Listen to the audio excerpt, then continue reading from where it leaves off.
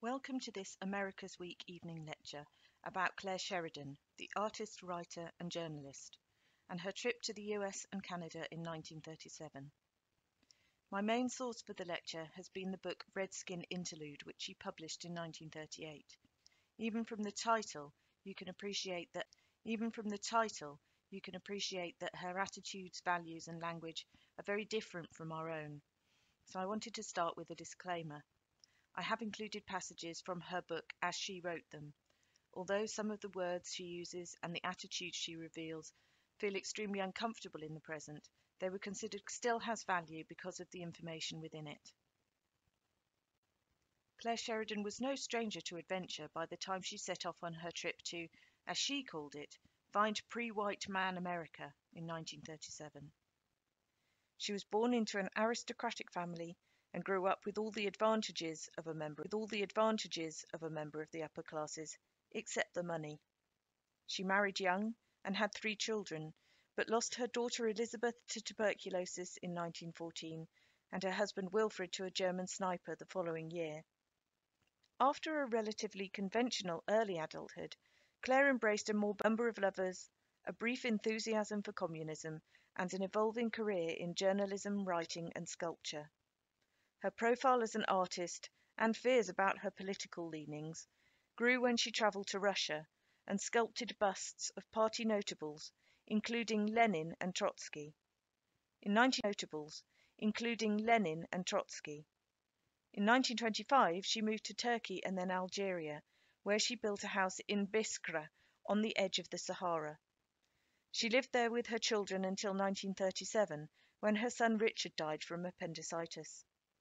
With a need for solace, fresh subjects, she embarked on her next journey, sailing to New York. Clare had been told by a friend about a summer art colony encamped by a glacier lake somewhere in the Rocky Mountains, which specialized in using Native American models. Time spent at the colony would give her the chance to create new work, the chance to create new work with new models in a new environment. It would mean crossing America from New York to the Rocky Mountains, a journey she decided to do alone by car. Friends had journeyed by train, but she could find no one who had done what she planned to do, and she had limited information to guide her. I consulted my father's autobiography, in which he described his ranching days in Wyoming. That was about 1879 to 1885. He'd seen the great buffalo herds and had known the Indians on the warpath and met, actually met, Sitting Bull. In those days there were no roads or railways existent. My father's book was interesting, but of no practical value. Having stopped to collect a letter of introduction from the Indian Department in Washington, Clare now faced a drive of 2,429 miles. It is a very curious sensation to motor day after day alone, seeing things you cannot seeing things you cannot discuss, bottling up your feelings, and wondering where you'll spend the coming night. The roads were so straight, so straight and so long that they seemed to lead to eternity. As there was nothing to arrest my eye, my thoughts wandered hopelessly, and at times I forgot where I was or that I was driving a car. As she approaches her first reservation, Rosebud, she records the first of many musings about the plight of Native American peoples, which must have made uncomfortable reading for any Americans who bought her book. They were nowhere to be seen, these real Americans, the hundred percenters. They were hidden away, on no part in the life of their own country.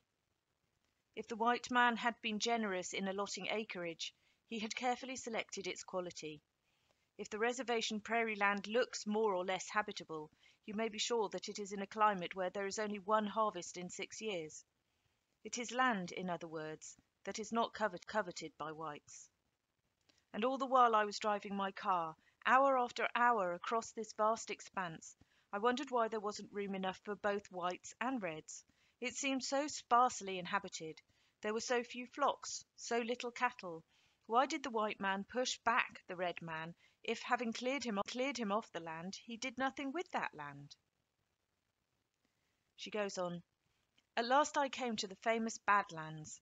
A detour off the main road took me through this strange country of soft rock, corroded by rain and wind into fantastic shapes.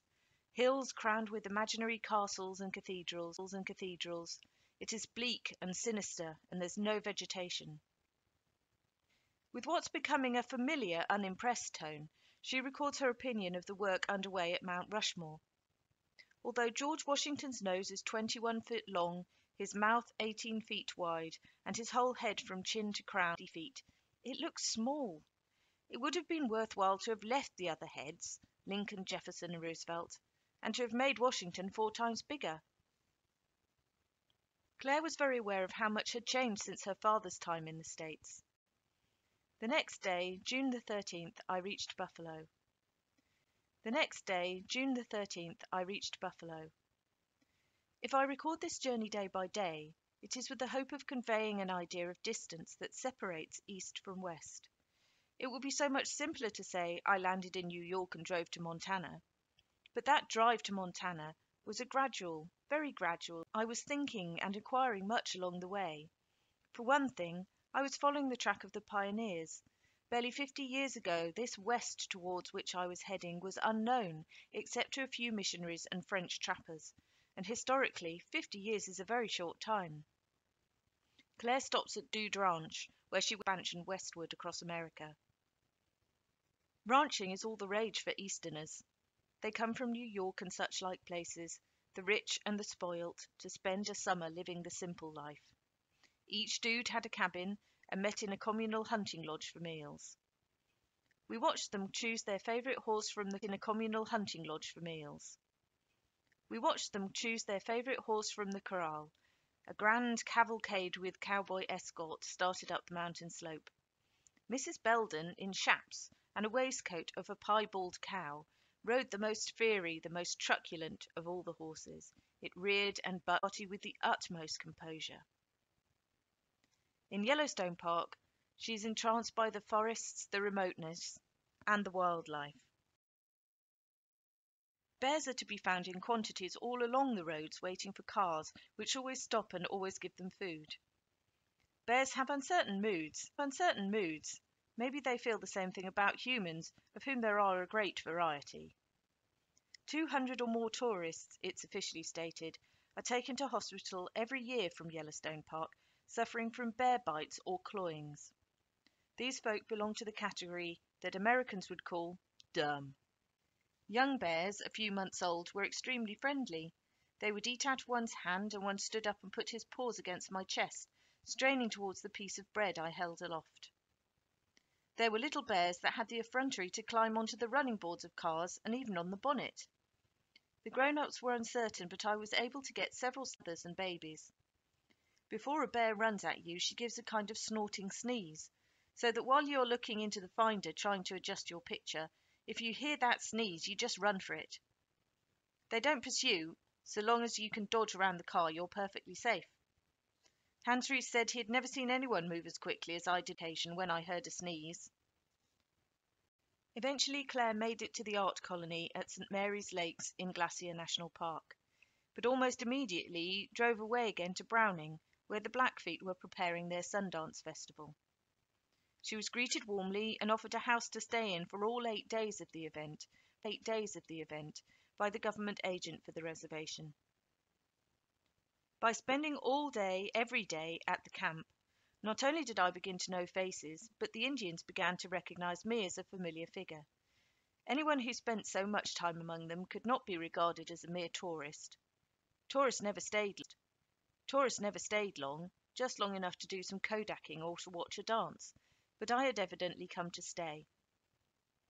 The first time I received a salutation, I felt I had really begun to make an impression. There were two or three teepees close together whose owners invited me inside and made me welcome. Fish. No one who went to the camp could fail to notice Turtle. He was a monumental Indian, more like the gnarled root of a tree. His hands were big and powerful, and he was powerfully built, of no recognizable age, and endowed with unusual strength. It was well known that he had wrestled with a it was well known that he had wrestled with a grizzly and won. He wore the bear's claws as a necklace, with a big turquoise blue bead in between each, his most treasured possession. I was fascinated by Turtle. I had my heart set on modelling him. I must do Turtle if I never did anybody else." He refused to pose for the usual fifty cents, but consented for two dollars an hour. I so wanted him to like me, to like being modelled by me. One night, when I was invited to dance around a fire in the tent of a chief, Turtle, with a perfectly serious face, chucked me under the chin. I think familiarity on the part of an Indian, especially of Turtle, was extremely surprising. Clare developed friendships with a number of individuals during the festival, including Last Rider, chief of the Brave Dog Society, his wife Sings in the Water, and his nephew Lone Wolf.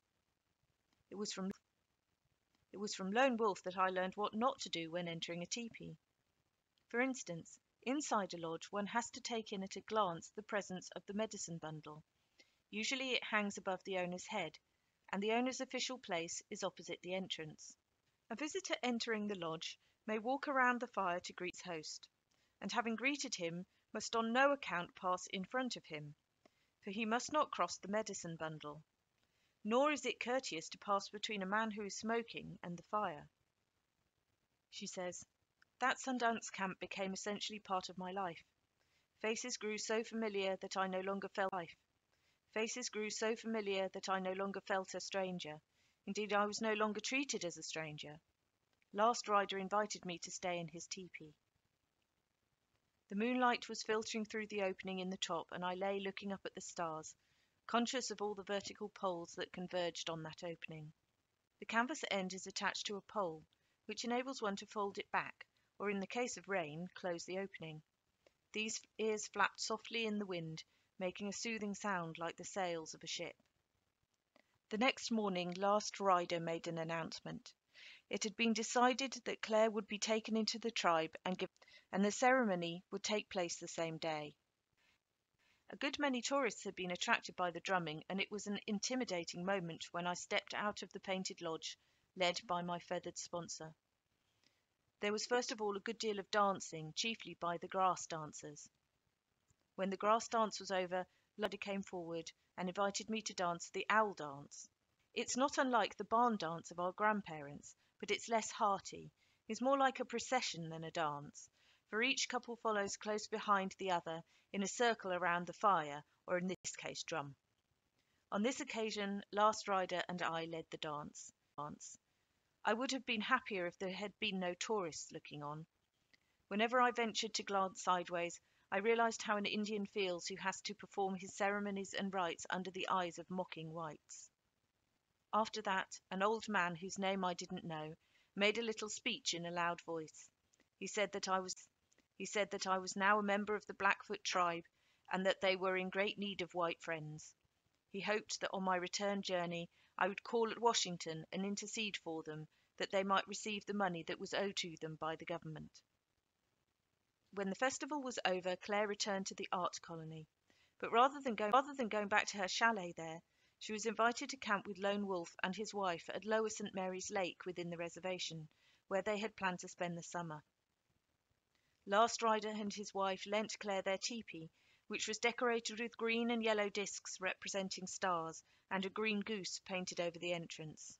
Shortly after settling in, however, Clare was off again, this time taking Lone Wolf and his father Apocony over the border into Canada to attend the Blood Festival on their reservation.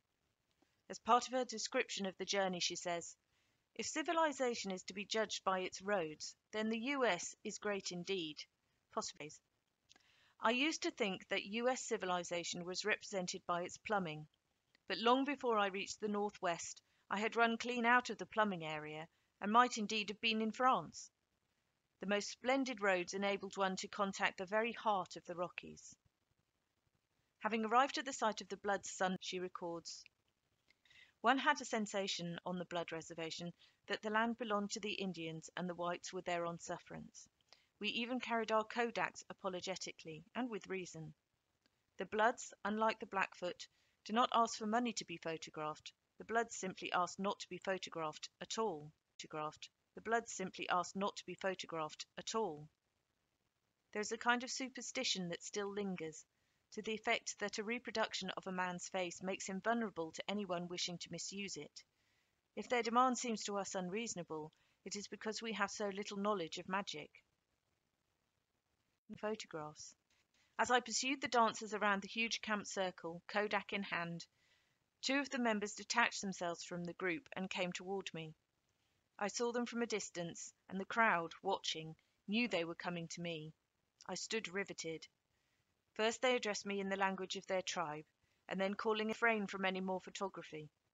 After that, I didn't dare even take surreptitious snaps. Returning to the art colony after the festival, Claire stayed at Lone Wolf's camp for a month. But only artists living in the chalets provided at the colony were allowed to work with the Native American models there. She says, many of them were Native American models there.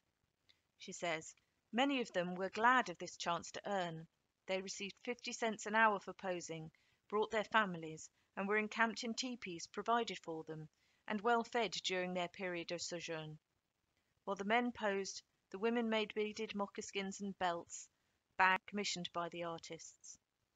It feels uncomfortable reading about the relationships between artists and models. On some levels affectionate and respectful, but on others very transactional and seemingly exploitative from a modern perspective. Clare Sheridan herself was not oblivious to this tension. The Bloods were full. I always felt a kind of embarrassment when I paid them. Especially this was the case with Shot on both sides, the chief of the Bloods, who consented to be done by me. It seemed all wrong somehow to put money in his hand. He carried his chieftainship impressively. One day I told him through an interpreter that I considered that at last drew from him a smile of appreciation. In August, Clare was invited to stay with her friends, the Tailfeather family, on the Blood Reservation. During the ensuing days, even weeks, the Tailfeather farm was to be an objective for many. They came from all directions in their carts or on any. They came from all directions in their carts or on horseback to see the strange phenomenon, a white woman staying with an Indian family. While staying with the Tailfeathers, she learned about regulations that brought misery to families on the reservation. According to government regulations, every child on the reservation from 17 is obliged to go to either of the two boarding schools, the Anglican, which means Protestant, or the Roman Catholic. They are missionary schools, subsidized by the state. That means the church or churches lay hands on the whole generation of Blood Indian for 10 years. During those 10 years they must not dance, beat a drum, or pray in the Indian way. As winter approached, Clare knew she must leave the Tailfeathers farm. They had given her one of the two rooms of their cabin and were sleeping in a tent outside, but it would soon be too cold to camp. She visited friends she had made over the summer, by tour. Whilst visiting Rough Hair and his wife, he suggested she dress up in his wife's clothes for a photograph. Esto Tailfeather had accompanied her and was asked to take photos. Clare recalls, she'd never done such a thing in her life, and she handled the Kodak as if it were a bomb that might explode.